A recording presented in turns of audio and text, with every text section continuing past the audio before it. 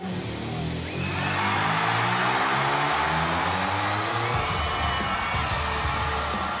of said lunatic,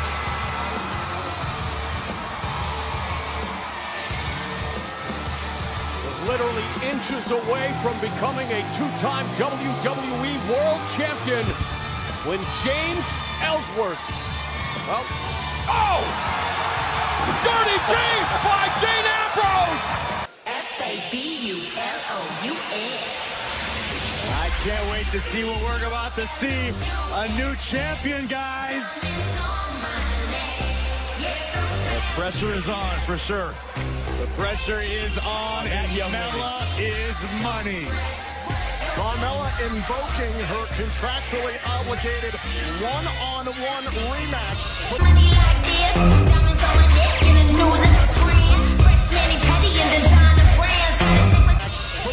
SmackDown Women's Championship.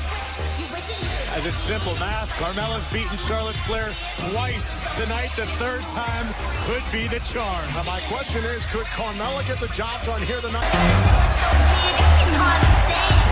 Everybody knows that I had nothing to do with that. I swear. I'm sorry. I step to this. Here tonight in Detroit, could she be rolling into the Motor City, Detroit next week with SmackDown Live with the championship around her waist?